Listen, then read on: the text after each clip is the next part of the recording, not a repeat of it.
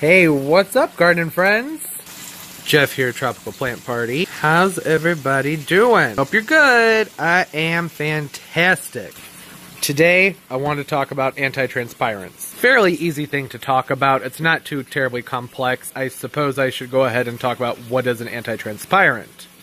And, well, just like it says right here on the bottle, reduce moisture loss when plants are under stress due to winter kill, windburn, or drought and other reasons. So, transpiration is the process where vapor is released from your plants. Take in water from their roots.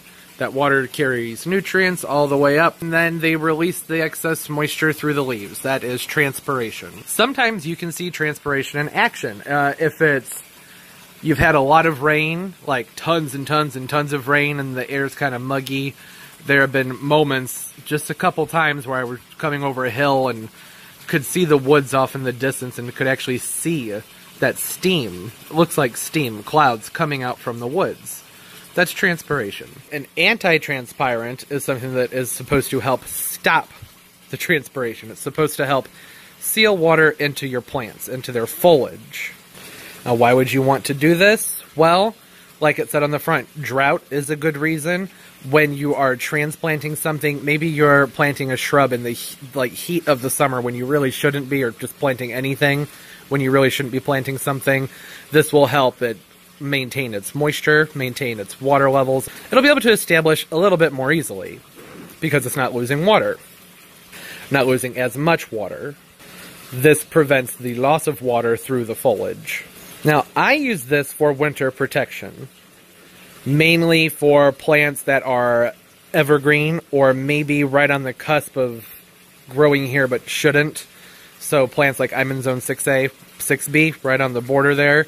And uh, so I have things like crepe myrtles, I have several palms and camellias and aucubas, lots of things outside that typically don't grow where I live. So during the winter, I have to use an anti-transpirant, something to seal over the leaves to keep the wind from blowing the moisture out of the plant.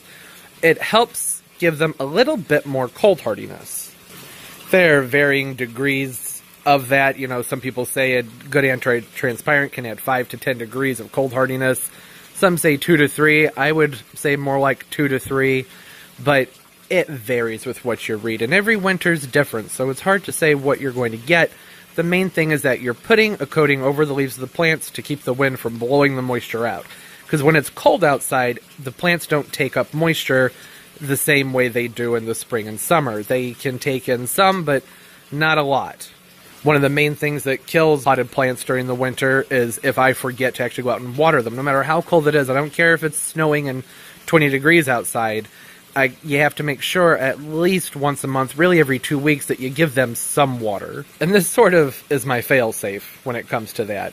Gives me a little bit more wiggle room. The majority of these are made with an oil from pine trees. But you know, pine trees, they have a waxy coating on them, and that helps protect them from the winds, and then they've somehow packaged it up, and that's all the fun science stuff. I, I really don't know. But it works. How you use them varies. There's lots of different brands. This is wilt proof. There's wilt stop, anti-stress 2000. I want to say there's one called no wilt and there's one called freeze proof. I don't know if freeze proof is still being sold, but there, there's lots of them. You can just look up an anti-transpirant on Google. It'll give you all different things. The effectiveness to which I can't guarantee for anything on any of them. I like wilt proof.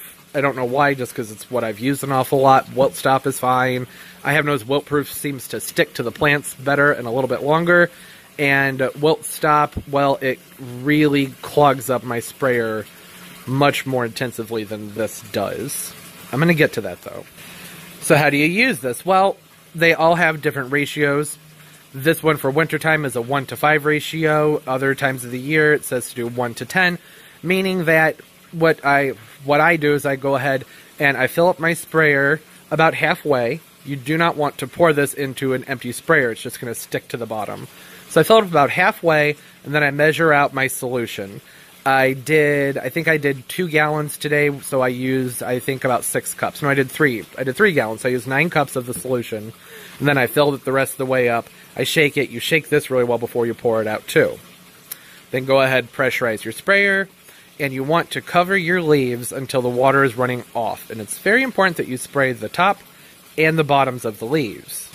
I do this on my azaleas, my palms, uh, even on the bark of some of my plants, like the crepe myrtles. This helps prevent the wind burn. The wind, you know, the cold, dry wind blows across those plants and just takes all the moisture out, killing the plants. And on the crepe myrtles, it just kind of kills the wood. They'll usually come back from the ground. This is just kind of an extra security step that I take to help ensure that they'll come back from the wood. It's not always 100%. It just kind of depends on my winters here. Newly transplanted plants. I did a whole bunch of planters this past week, so I put it on my hollies. I have a new magnolia. I think it's a saucer. It's not a saucer magnolia. Sweet Bay magnolia, maybe. I think that's what it is. Which is semi evergreen where I live, just like 40 miles south. They're evergreen all year. I'm just not quite warm enough. But some of them around here stay evergreen, so I'm making sure to coat that one really, really well. Spray the top, the bottom, the trunk, every single branch.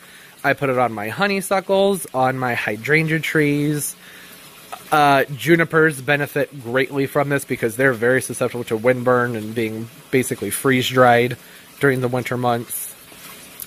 And for my palms, particularly my uh, windmill palms, those I usually will give them two sprays. I'll give them a spray now, which I've already done, and then I will normally go through in about three weeks to a month and give them another spray.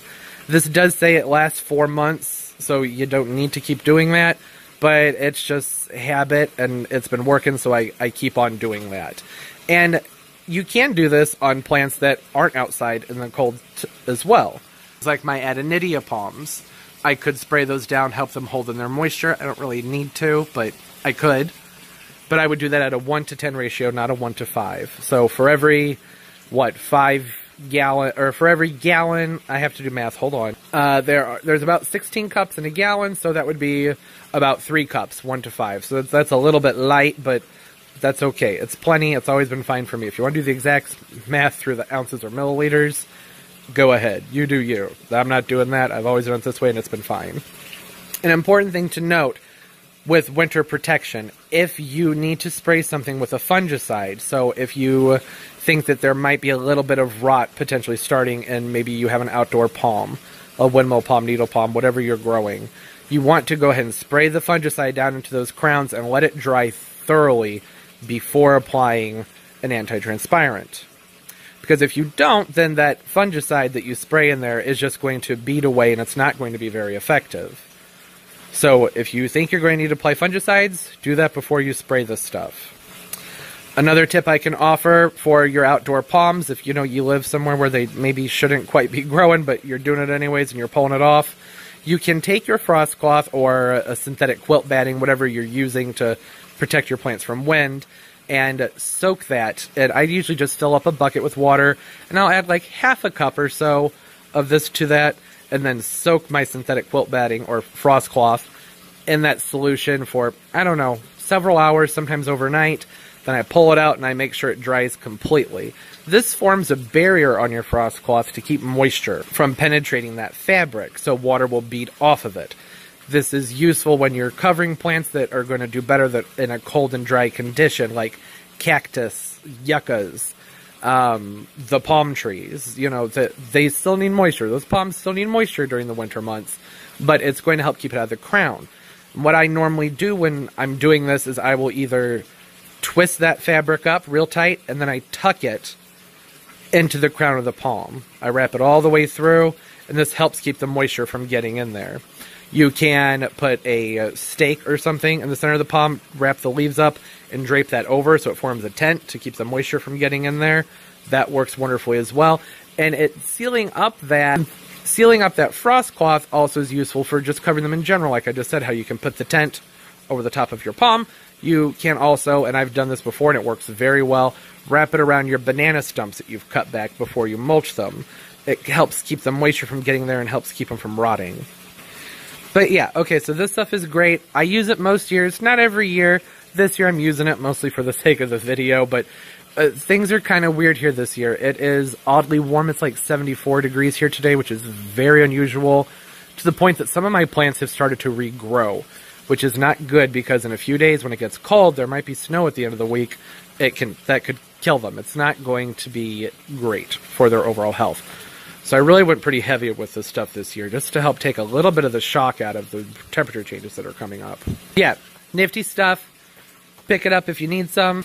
I think that's really about all I have to say for that. Oh, no, no, no. One more thing. Very important thing. The very moment you're done spraying your anti-transpirant, clean your sprayer out immediately because this stuff will gum up all the pipes, everything in there, and just ruin it.